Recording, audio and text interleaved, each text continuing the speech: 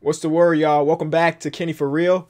Uh, this this channel has kind of turned into me reacting to Bleacher Report articles because that's fun, especially when it's trade related. And we got another one, one off season trade idea for every NBA team, huh? Yes, sir. Let's get it to it.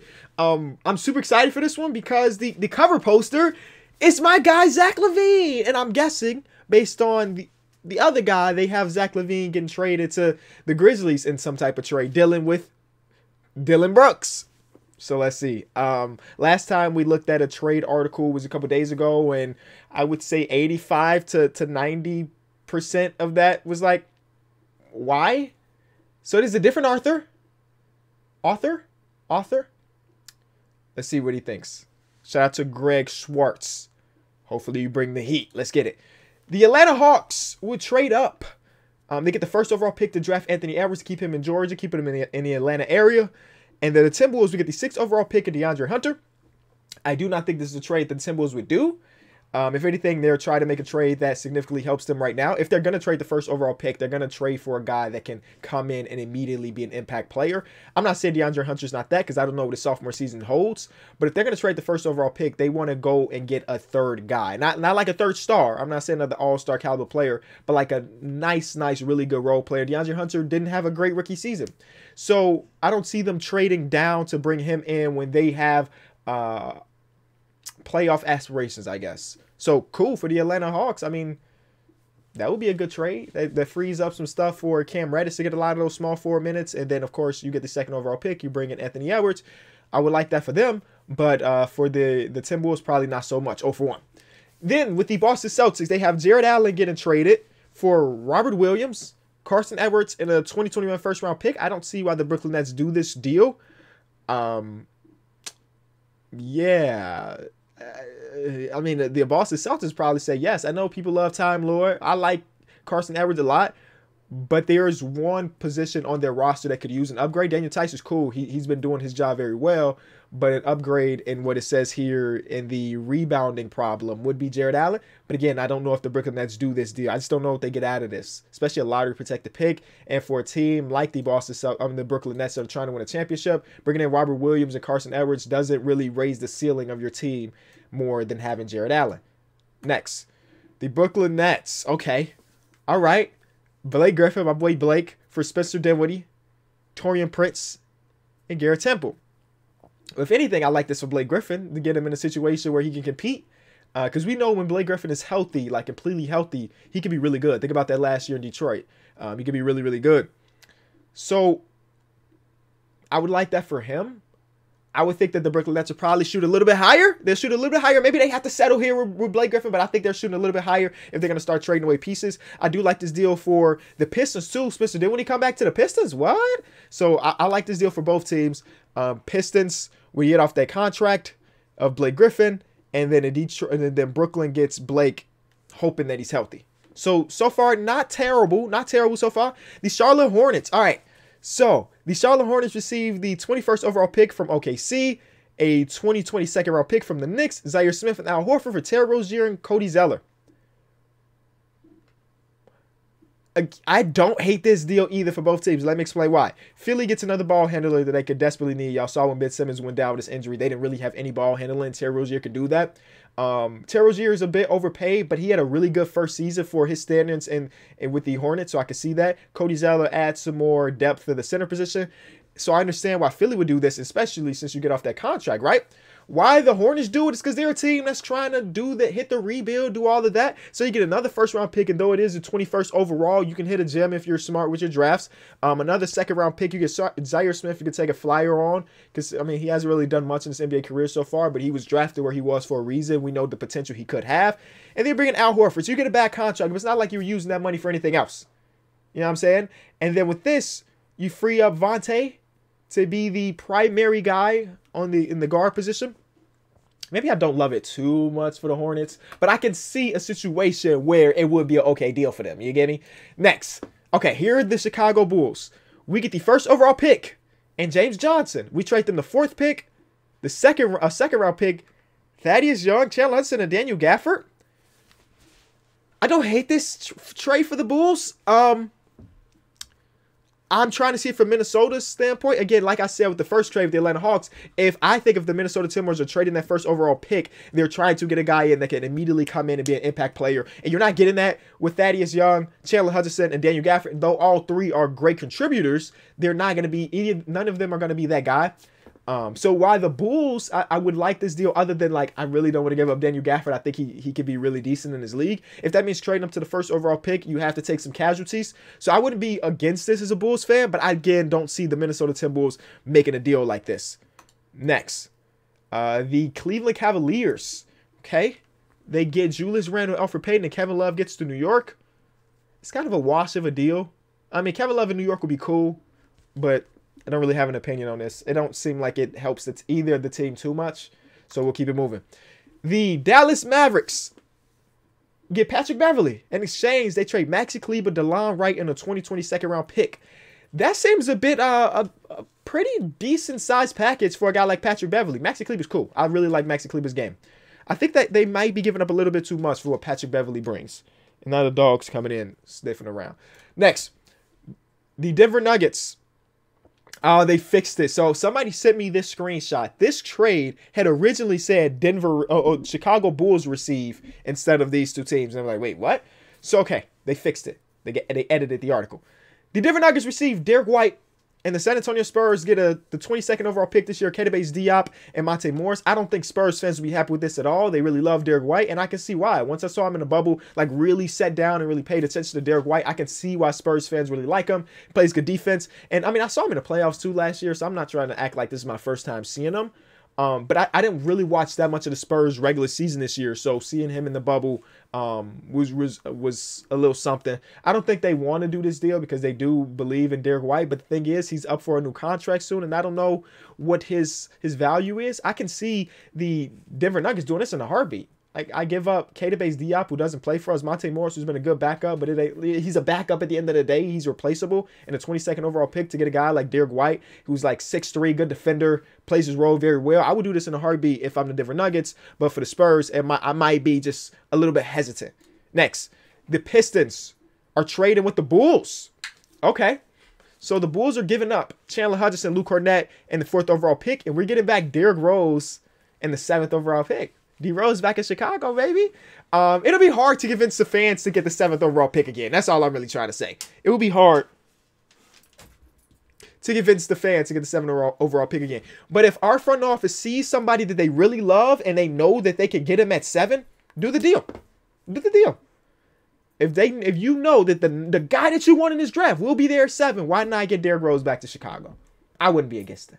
I wouldn't be against it at all. You know me. Next. The Warriors. Actually, overall, if I'm grading this trade, I think it's a good trade for both teams. In this situation, again, if the Bulls believe that the guy that they want can be there at seven. Okay, so next. Uh, the Warriors. They trade a second round pick and get Dennis Smith Jr. and Taj Gibson. I mean, I, I guess. It's kind of a lame trade. Move on to the next one. The Houston Rockets. I've seen a trade like this often at first, I saw like Eric Gordon for Al Horford straight up, one for one. But this one has Al Horford in the 2021 first round pick and then a second round pick from the Knicks for Eric Gordon, Danuel House, and Austin Rivers. You're giving up a lot of depth again in Al Horford. And though they could use a guy like Al Horford in his massive contract, I just don't think it's a good deal to give up that much depth for a guy that has is we can agree is on a decline, is on a huge contract. I do not like this deal for Houston. Don't do this, Daryl Morey. Next, Indiana Pacers. Buddy Hield for Victor Oladipo. I can see that's a, this is a worthy trade for both teams. With Buddy Hield basically want to be in, being out of Sacramento, we're not liking his role anymore.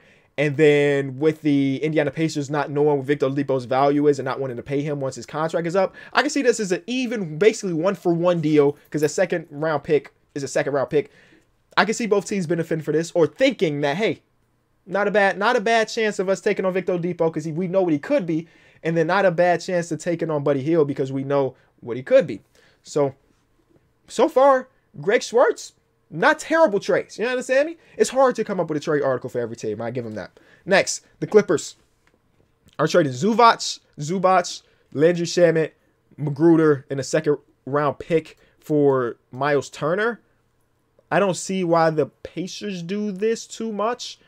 unless they're trying to have Sabonis slide over to the five and just open things up for him. But overall, I think Miles Turner is an impactful enough player for them that they would want just a bigger package than this. I think Zubac can be good, uh, but we saw just recently that like there's this certain group of bigs that he just cannot hold his own with. like we saw that in the game yesterday, he just cannot hold his own against certain bigs who and like the bigs that are able to stretch and the bigs that are fast. He can't hold his own either of those two. And we're getting to the point where most of the bigs fit that. Um, and Miles Turner is a good defender, man. What can I say? He's a good defender. Lakers. Ooh, they traded the whole team. Danny Green, Kyle Kuzma, Kentavious Caldwell Pope, and a second round pick for Gordon Hayward. Um, for the Celtics, this kind of adds another problem. Like the Celtics have some of the best wing depth. You know what I'm saying? Well, actually, other than the couple guys that they have that's starting, I mean, Danny Green coming off the bench, Kentavious Caldwell Pope coming off the bench would be a lot better than what they have now. You know what I'm saying? Um, and Gordon Hayward, obviously, even though he had a good season, we could we, we have been seeing them be successful without him. So you trade him, improve your depth. I could see that being a okay trade for them. Uh, contingent on if Danny Green can hit his shots, or if Kentavious Caldwell Pope can hit his shots. Uh, but for the Lakers, get a third guy. Again, as a third, fourth guy, Gordon Hayward is really good in this league. I don't hate this trade for both teams, but I'm sure there's going to be Lakers fans and Celtics fans that both hate it because this is the way fandom works. Here's the here's the trade of the, the whole thumbnail. Zach LaVine for Brandon Clarke, Dillon Brooks, and Grayson Allen. Well, I'm gonna politely decline this trade. Um, thank you for the offer. But the reason I am declining is because we already have a front court that we like with Lauri Markkanen and Wendell Carter. Um, Brandon Clarke and Zach LaVine are actually like eight months apart in age. You know what I'm saying? So it's not like we're getting younger. Dillon Brooks is I like Dillon Brooks sometimes, but he has this tendency of taking shots. you're like, bro, that's not a good shot. And then Zach LaVine has a tendency too, but Zach LaVine is actually a better player. So Zach LaVine taking a not so good shot is just a bit better than Dillon Brooks taking a not so good shot. You know what I'm saying? I don't like this deal. I'd rather I'd rather keep Zach LaVine on the roster. But I could I mean, Bulls fans, there is a camp that really wants to keep Zach LaVine. There's a camp that would rather trade him away, and I'm like right here in the middle. If if the right deal is there, I'm okay with with trading Zach LaVine, but I'm not just gonna trade him just because. You know what I'm saying? And that that seems like a just because trade. Even though again, I really do like Brandon Clarke. If y'all remember my rookie draft class video from the 2019 draft, uh, Brandon Clarke was one of my five favorite rookies, and he exceeded expectations this year. But it's just with the Chicago Bulls, it would be weird to have him, Lauri Markkanen, and Wendell Carter together. It's kind of like a logjam out there. The Miami Heat are traded Bam Adebayo, Kendrick Nunn, Iggy, Kelly Olynyk for Joel Embiid. We saw this in the last video. I don't want to talk about it too much. So if you missed that video, go watch it. Um, I like Bam with the the Heat culture. I wouldn't trade him away. I think he has endless, endless potential right now. Milwaukee Bucks get a guy that they could get, give it to or get a bucket. CJ trading away for Donte DiVincenzo, George Hill. Oh my God, they're giving up the whole barn. But I think this is a bad, a, a bad trade. Oh no, a good trade for Milwaukee because you need something. You need to somehow convince Giannis to stay once that contract is up, and CJ can potentially do that. But for the Portland Trailblazers, you know, kind of a eh. You you're taking a step back for sure with trading away CJ and Donte's cool, George Hill is cool, but you again you're taking a step back, and it would be really on Damian Lillard's back if you didn't think it was before. Next. The the Bulls are in like 70 trades so far. Come on, bro. Like I, I understand we got assets and we got good assets, but trading Lauri Markkanen, the fourth overall pick, for the first overall pick, Josh Okogie and, and Jake Layman. Why would we do this deal and you gave us a way better deal with Thaddeus Young in it? Why would the Bulls trade Lauri Markkanen when we can trade Thaddeus Young and get the same draft pick? I don't I don't like that trade. Next, the Pelicans. JJ Redick, old self, Josh Hart, for Miles Turner. JJ Redick is good at, at, a couple things, and shooting is one. Um, Miles Turner is like the prototypical big I would love to put along Zion Williamson because he majority of his shots come from the perimeter anyway, and of course he protects the paint. I would love to see him with the Pelicans, but I don't know if this is enough assets for them to do, especially with JJ Redick being 36 years old basically, and Josh Hart just being cool. Um, but I think Miles Turner could be a guy that's going to get traded for less than what the what I would think he's worth. You know. Next, the Knicks trade up whatever it is, trade anything to trade up. If you want LaMelo, if LaMelo is your guy, trade it all to get the first overall pick. In this case, it has them trading the eighth overall pick, a Dallas pick from the Porzingis trade, Frank Ntilikina, and Taj Gibson. Um, I don't see why the Minnesota Timberwolves would do this unless they, for some reason, they don't love any of the top seven prospects and they'd rather get somebody at eight. Um, but if I'm the Knicks, I there's nothing that is untouchable in our repertoire. Picks, players. If you if you want Lamelo Ball or whoever it is at number one, do it all to get that number one pick. OKC trading Chris Paul for Gary Harris, Will Barton, and Monte Morris. Um, this will allow Jamal Murray to play probably his natural position of the off guard, and of course, I mean we saw Chris Paul play with three guards this season, right, where he can play off ball too, and you saw him do it with James Harden. He can play off ball very well, so they can take take turns uh, being the primary ball handler. But from OKC's aspect, I feel as though with Chris Paul, I think he's not a negative asset anymore because we just saw him be incredible for an entire season and a postseason. So for a while, people were thinking that Chris Paul, in order to get rid of his contract, we'd have to, I say we, but I'm talking about like front offices, would have to attach a pick or attach a future asset to get rid of his contract. I don't think that's the case anymore. I think I think there's a team, there's teams like Denver, like Milwaukee, like New York, that would be willing to take Chris Paul's contract because they believe that what he did this year could be something that he can replicate next year. Um, and if that's the case, I don't think this package is great, but I could see it being cool enough for them like, okay, deal. We don't have to pay Chris Paul 44 to 47 million dollars a year. Cool. And then we could bring in a guy like Gary Harris, who we've seen be really, really good at times and really bad at times. And maybe we just a change of scenery can help him. Him, Shai Gilgeous-Alexander, Dennis Schroeder could be the new three guard lineup and um, have him play that defensive role, I guess. I don't hate this trade for both teams. Next. Orlando Magic are trading Darius Garland for Mo Bamba. Okay. You see, you see, literally no opinion on that. Uh, Jrue Holiday and JJ Redick traded to Philly for the 21st overall pick, a 2022 lottery protected Josh Richardson and Al Horford. Um, so both of these guys, Jrue Holiday and JJ, go back to Philly. You know, I would love that for Philly. But you have to think about wh- why do the Pelicans do this? Um, I mean, I was gonna say to get younger because you get those two first those two first round picks. Josh Richardson's obviously younger than than JJ and Jrue, but then you bring in the Al Horford contract, and you're gonna also have to pay Brandon Ingram if that's the plan, and then eventually you're gonna have to pay Lonzo if that's the plan. You're gonna have to play Zion, all while Al Horford's contract is still on the books. Something I wouldn't really want to do. Phoenix, you trade Marvin Bagley, Nemanja Bjelica for Kelly Oubre and Cam Johnson. No.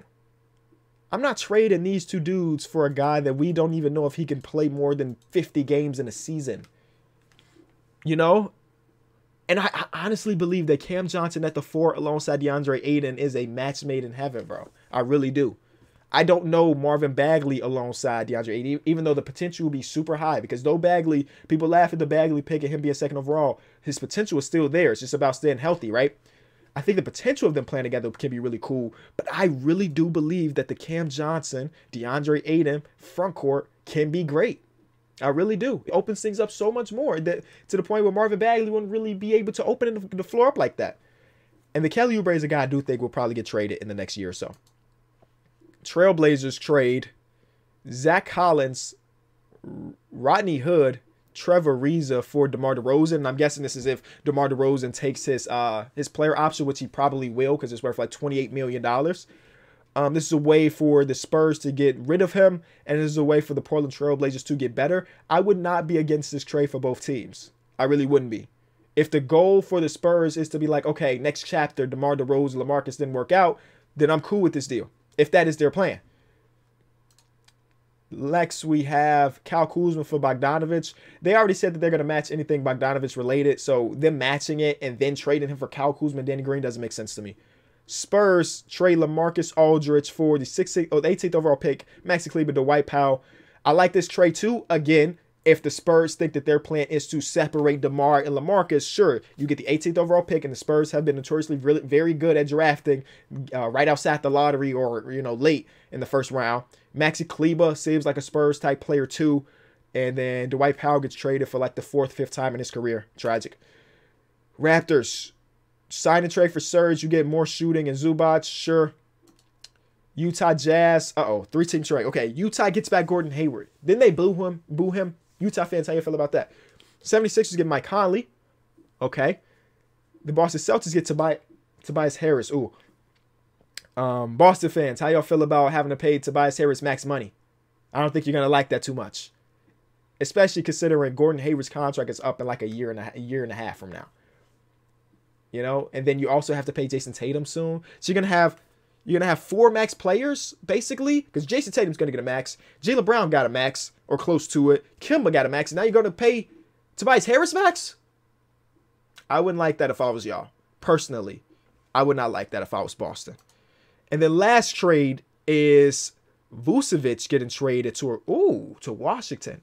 Vucevic in the 15th overall pick allows the Orlando Magic to move up to the ninth pick, get Thomas Bryant, a young player, get a bunch of young players in a Ish Smith for the ninth pick. Um, Vucevic has been on the trade market for like 12 years now, so to finally get him in a different place, Vucevic is a, is an impact player. You know what I'm saying? Uh, depending on what John Wall comes back, it looks like John Wall, Bradley Beal, and Vucevic. Again, depending on if John Wall is good or at least close to good, that's probably a playoff team. Where Rui Hachimura and then the wing, the other wing position would be up in the air, I guess, because you're trading Troy Brown Jr. And I can't even think about who's the backup small forward of that team because I wasn't watching like that. I don't hate that. Uh, okay. Article better these trades are significantly better than the one we reacted to a couple days ago. Are they all great? No but it was fun. If you enjoyed it leave it a like subscribe to kenny for real. Subscribe to all the other channels always in the description. I'm out. Peace